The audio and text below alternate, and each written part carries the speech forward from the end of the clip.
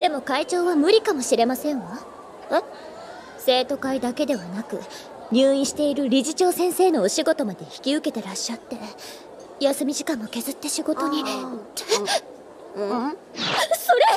関節キスじゃないですの？はああなた会長は。副会長は真面目すぎんだよ。